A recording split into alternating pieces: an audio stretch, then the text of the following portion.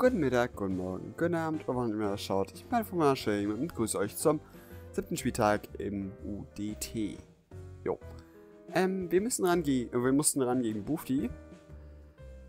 Der, ähm, den kennen wir aus der PBL. Da haben wir mit ihm am letzten Spieltag der Gruppenphase um die Playoffs gekämpft und haben das tatsächlich hinbekommen. Dank Skill. Wir wissen ja, wenn Hacks zur Gewohnheit werden, ist es Skill. Und Kiom hatte sehr viel Skill. Der war bester Killer in der Liga. Jo. Ähm, hier machen wir uns mein Team durch, weil ich kein Teambuilding machen konnte wegen Zeitproblemen und so.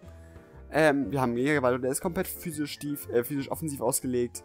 Mit, äh, mit Full Speed und Full Attack, nämlich Bibor, äh, nämlich mit Bibor Speed-Haie. Und dann spielt er, äh, spielen wir Laubklinge, Steinhagel, Drachenklau und Schwertanz. Mein komplett physisch defensives Pampros mit der ja Papa Berry, Erdbeben, Steinhagel, Nahkampf und den Tarnstein.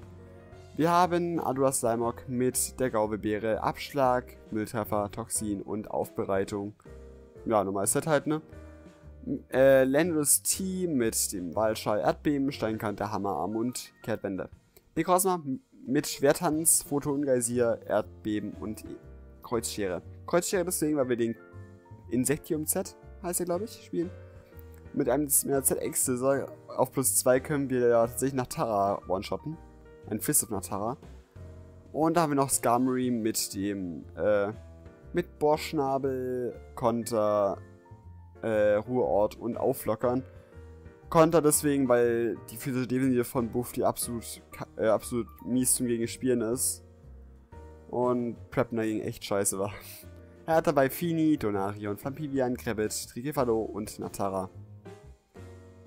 Jo, dann würde ich sagen, danke immer wieder fürs Capture, mein Guter. Und wir gehen rein.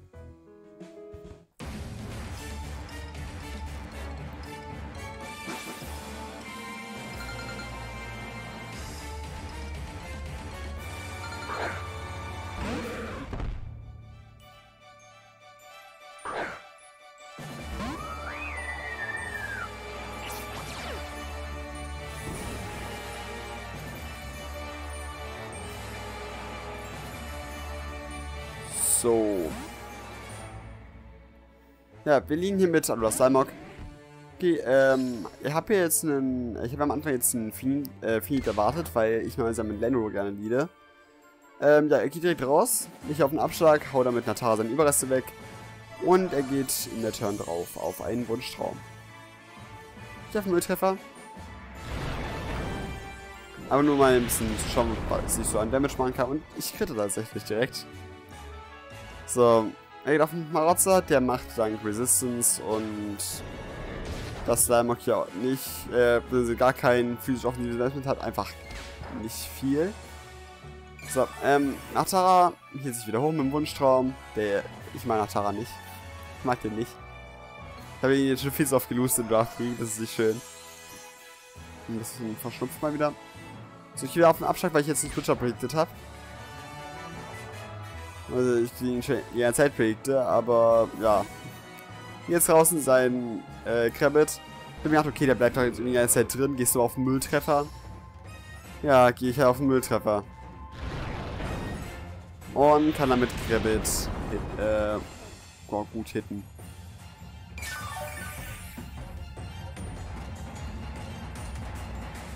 Ja. Ich muss aber wieder raus, weil so ein Erdbeben tut weh. Vor allem wenn der Choice Band oder so ist, dann bin ich ja instant weg. Also zum Beispiel bei einer Rückkehr oder so. Zwinge ich hier meinen Stalarm. Stalarm. Und kriege ich U-Turn sehe ich so viel Damage, dass ich mich mit meinen Leftovers nicht auf 172 KP holen kann. Was die Range wäre, in der, ähm, in der Panzeron hier sich dann direkt einen Konter klicken könnte gegen Flampivian. Kann ich aber leider nicht, deswegen gehe ich mein Pferd. Pferdbeben ist mir wieder am Bienen.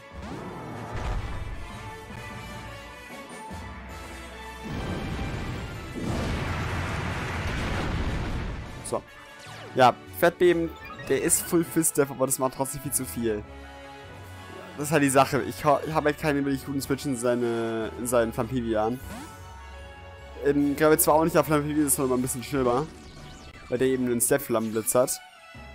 Ja, Steinhagel Ich, ich hätte nicht auch auf die Tarnsteine gehen können, aber mir war das ein bisschen zu risky, falls er weiter drin bleibt und einen Flammenblitz klickt. Ja. Jetzt ist mein Pferd zu low, um in den Flammenblitz reinzukommen. Das ist nicht cool. Ja, er geht auf die Kraftreserve. Ich tippe jetzt auch mal auf die Kraftreserve Eis. So, ähm. Ja, infolgedessen auf den B-Switch. Ich will hier auf den Abschlag.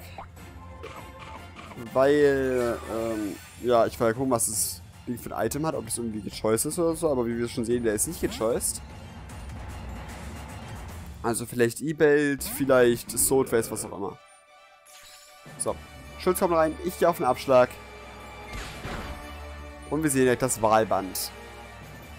Ja. Autsch. Wobei, Ouch-Faktor ist schon ein bisschen weg, weil der jetzt Skarm schon mal nicht so, äh, mit dem Feuerschlag nicht mehr two-shotten kann. Was ziemlich praktisch ist. So, ähm, Schulz kommt zurück. Und er geht in Barrick. In sein Donadion. Also hätte ich wenigstens Ante nennen können, das ist ein cooler Name. Ähm, jo. Stallarm, der bleibt da nicht gern drin. Weil, weil, wir kein, weil es ja kein Spiel, äh, nee, weil es nochmal Spielcape hat. Spielcape auf Hans wäre echt göttlich. jo. Ähm, ich bin wieder mit Simon geht auf den V-Switch und kann direkt wieder seinen Tormund reinholen. Diese physische Offensive ist so eklig. So, ähm. Hier raus. Kein Pferdbeben. Hoffe, dass er vielleicht irgendwie auf ein Erdbeben oder so geht, aber nein, der geht wieder auf den Flammenblitz und damit ist das Pferdbeben down.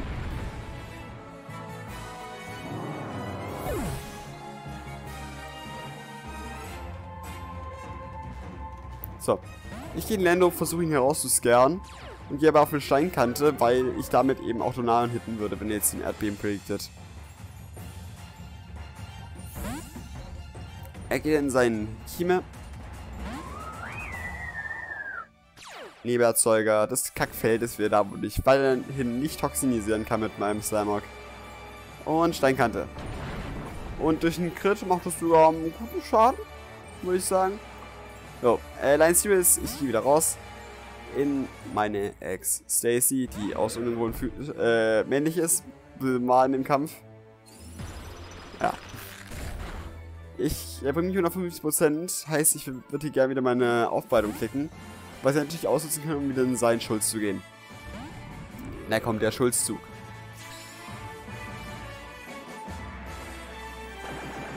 Jo, Aufbereitung. Ich hole meine Gaubebeere wieder und kann direkt wieder futtern, dass ich hier über äh, 50% kann. Äh, äh, so knapp 95 müssen es sein, wo ich jetzt bin.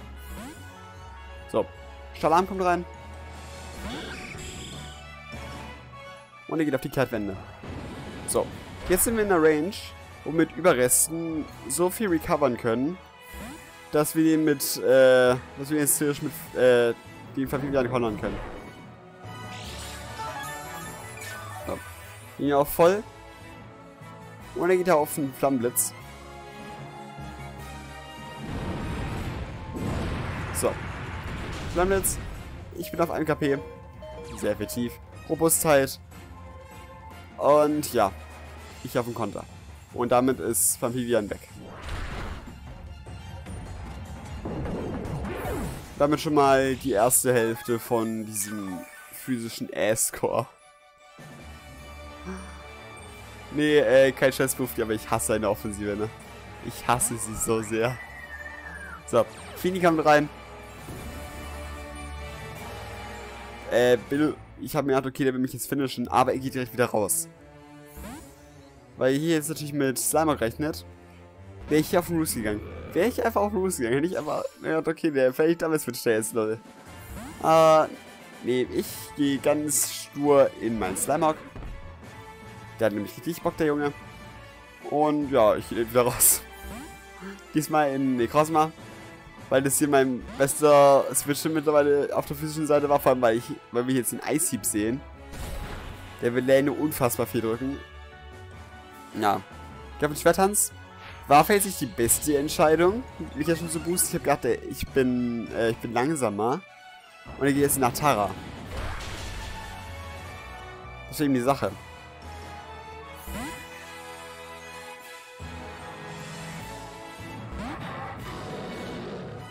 Weil warum immer ich dachte, dass ich mit meinem äh, Full Investment langsamer wäre als Kribbelt. Ich weiß es nicht.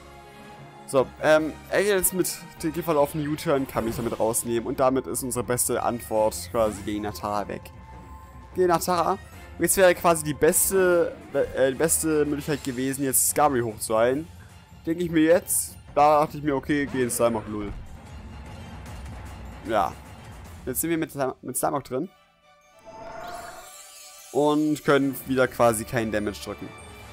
Aber ich kann ja auf eine Aufbereitung gehen, ziemlich safe.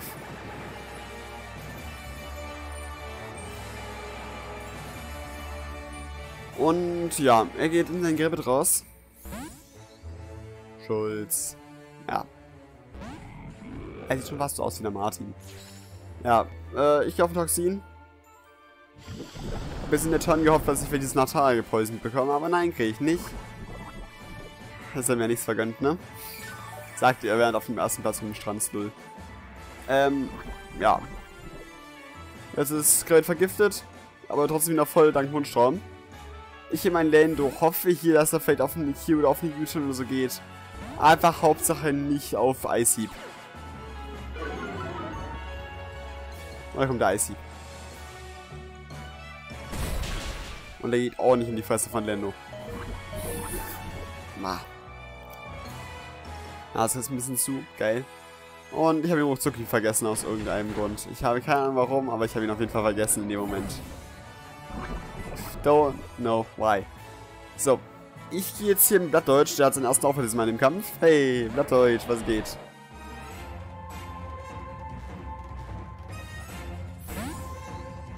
So, und dann geht hier sein Barrick, sein Donarion. Und ich hier auf die Mega mit Gewaldro. Muss ich da First Turn. Und es ist aber jetzt auch nichts, was mich großartig davon abgehalten hätte, hier auf die Mega zu gehen. So, was mein so. Ja, für Laufklinge. Hätte Grabbit gekillt. Nein, leider nicht. Und um 100% hier safe, safe zu gehen, dass er, dass er nicht irgendwie noch Death Investment spielt. Die Dragon Club würde eigentlich reichen, aber ich will safe gehen und gehe deswegen auf den Steinhagel und kann damit Donarion rausnehmen. Damit ist Samok jetzt noch besser. Weil Donarion halt auch so viel Damage drückt. Vor allem jetzt auch drei spezielle Attacker. Das sind Fini, oh, äh, nee, zwei spezielle Attacker. Ein Mon, was von Samok eh wird mit Naftara. Und sein Grabbit. Heißt, Grabbit muss da weg und dann ist Samok unfassbar gut in dem Matchup. In den Fini rein. Hab mir gedacht, okay, wenn er so reingeht, so aggressiv, statt irgendwie in Trikefall oder so zu gehen, wird der entweder eine Grindobeere oder irgendwie einen Wahlschal oder so haben. Heißt, ähm, hier raus, beim Wahlschal hat er schon mal auf Fini gespielt, soweit ich weiß. Hier, also ein Slimeog und da kommt also der Eisstrahl. Heißt, ähm, ja. Hätte sein können. So. In Slime, äh, in Grabbit. Auf, äh, in Grabbit gehe ich jetzt den Stalarm. Will ihn hier jetzt abwerfen, weil er mich nach Afi bringt. Hat zwar VO nicht, aber ich kann ja immer einen Free-Switch gewinnen. Dann machen wir so. So, ähm. Und hier jetzt auf eine Ice Dann ist Skarmory down. Durch Toxin von Sam auf rechter fast. Ich gehe jetzt in Blattdeutsch. Soll der recht klar sein. Ich kann ihn hier jetzt einfach finishen. Und er soll ihn auch nicht großartig rausholen wollen. Heißt ich hier einfach auf die Laub. Äh, ah ne, hier auf die Drachenklaue, falls in Trifalo geht. So war's. Ähm. Genau, damit ist sein rülpsender Hase weg. Und jetzt ist Slimer unfassbar gut. So, er geht in seinen Trikipalo.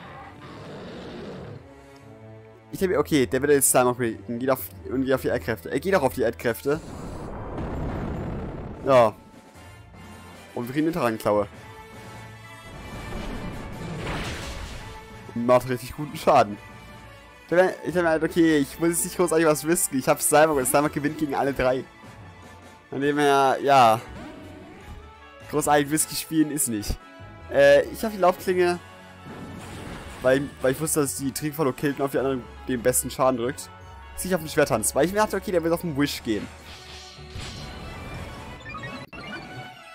Weil er kann ja nicht wissen, dass ich hier einen Schwertanz spiele. Jetzt ist die Frage. Geht er zum Protect? Oder greift er an mit dem Schmarotzer? Er geht nicht auf den Protect, wollte ich also, hat also auf den zweiten SD geplayt. Aber ich habe hier auf seinen Schotzer geplayt, habe damit die Fiction gewonnen. Und kann sie nach Tara rausnehmen. Er geht jetzt den Trikefalo. Und da ich hier nicht mehr brauche, bleibe ich hier auch drin. Er geht auf den Draco. Ich hätte theoretisch auch in Slamok rausgehen können, der ist getankt, aber zwei, den zweiten nach minus 2 auch. Aber ich wollte nicht riskieren, dass hier das gleiche passiert wie, ähm, wie bei unserem Playoff-Quali-Match quasi, wo ein Draco gekrittet hat und, man, und, äh, und er und dadurch, äh, und Draco gekrittet hat und dadurch man dann gewonnen hat. Das will ich hier nicht zulassen, deswegen lasse ich meinen Gewahr hier einfach draufgehen. Geh in mein Slimog. Ja, und der steht jetzt gegen Fini da. Und Fini macht nicht groß was gegen Slimog. Auf den Abschlag. Wir, stehen, wir sehen hier schlussendlich auch die Grenobeere. Geh auf die Hydropumpe. Ich gehe auf die Aufbereitung. Weil ich gucken wollte, okay, was macht der jetzt so?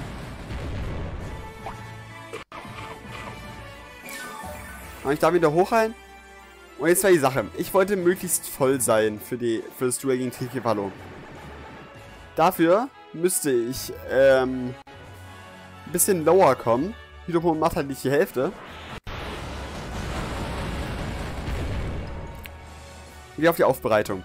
Einfach nur um zu gucken, okay, vielleicht, wenn er jetzt danach auf den Hydropon begeht, werde ich doch mal deutlich voller, als ich es jetzt bin.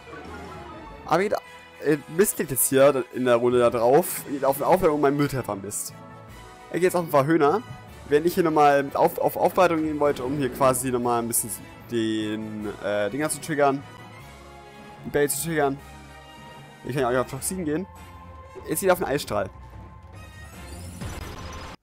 Und wir sehen, es sind 100 KP. Heißt, ich krieg meine Beere. Und bin damit auf 206 KP, also fast optimale Roll. Ich auf den Mülltreffer, der hittet. Und kann damit seinen Fini rausnehmen. Und jetzt haben wir noch Fini, äh, haben wir noch Alula Salmok gegen Trikefalo. Hat er irgendwie noch ein Erdbeben? Hat er noch irgendwas, um Slamok zu killen? Hat die Erdkräfte? Die haben wir vorhin schon gesehen. Machen okay einen Schaden. Aber dann kommt der Abschlag. Und wir gewinnen den siebten Spieltag. Und damit holen wir uns unseren sechsten Win.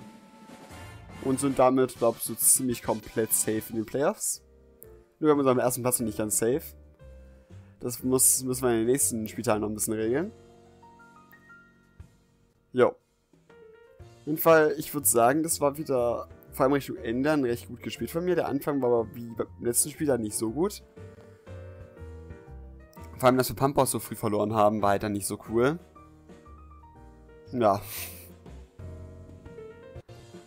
Aber wir müssen jetzt nächstes Mal gegen Blocky, den ich auch noch nie gespielt habe. Ich glaube, Bufti ist der einzige, den ich jemals gespielt habe. Und Yamari, glaube ich, auch.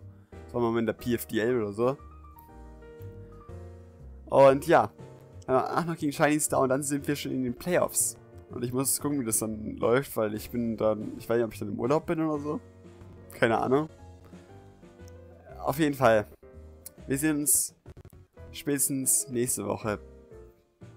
Ich glaube, irgendwie sind ein bisschen Soundbugs in der Aufnahme. Okay. Auf jeden Fall, wir sehen uns nächste Woche beim Teambuilding, hoffentlich. Oder auch direkt beim Kampf. Ich würde sagen, ciao.